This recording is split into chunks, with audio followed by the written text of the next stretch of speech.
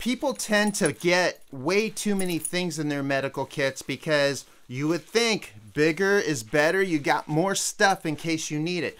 The truth is, is most people don't even know how to use a SAM splint or a trauma kit. So you're carrying around stuff that you don't even know how to use that creates a lot of weight. I know how to use this stuff. I still carry this one. This is the 0.5 med kit. This weighs a couple ounces instead of a pound. And this has everything you need band aids, it's got stuff for blisters, it's got medicines in it, it's got everything you need for tick removal, small scissors, even, even though I take those out because I have a pocket knife. I can recreate anything else there, including the SAM splint, with stuff I already have. So, this is all you need for most of you, is just this little tiny 0.5 med kit.